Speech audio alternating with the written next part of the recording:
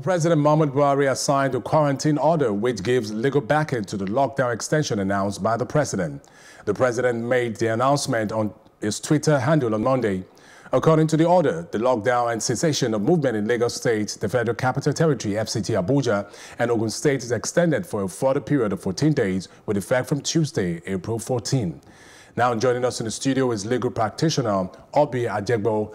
Thank you, Mrs. Obi, for staying with us still this evening. No problem, it's a pleasure. Now let's let's consider the legality of the quarantine order signed by the president. What is the legality of this, and what does it entail?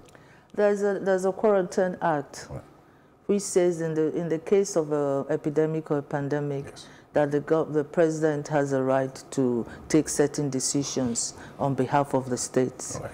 And this is this must be one of the decisions. And, and, this is the vote of any consultation of deliberation with the state, the very first man of the state, the executive governor. If we were running a proper federation, yes. a constitutional based federation, as we all have been screaming for restructuring, they, he would have had to have discussions with the governor and to see if there's any need to lock down. But since we still have an army-backed constitution, then he has he's acting and being an ex-military man he's still acting as as if it's a military cum democracy. Hmm. And well, let, us look at the constitutionality of this i mean away from from the legality of this. Now how, how does this play out in, given given the constitution in the light of the constitution? The governors are the chief executive officers of the states yes. The president is the chief executive officer of everywhere.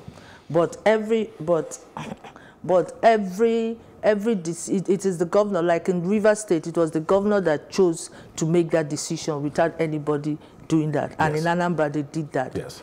So it, it i find it i find it very strange that why um, lagos state ogun and um, Abuja, Abuja should yeah. be singled out for this lockdown. But perhaps because Lagos is a test case, Lagos is, is the bride. Happens to be the epicenter Yes, the of, epicenter, of the, the bride of yes. the coron coronavirus epidemic.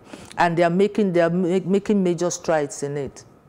Now, the quarantine order, it gives a little back into the lockdown. I mean, by the president, as mm. we, we saw in his broadcast. Mm. Now, other states also, that we have a few states who have also um, report, reported cases of COVID-19. Mm. Should this quarantine order also be extended to those states? Like you rightly said, why particular Lagos State, Ogun, and the Federal Capital Territory?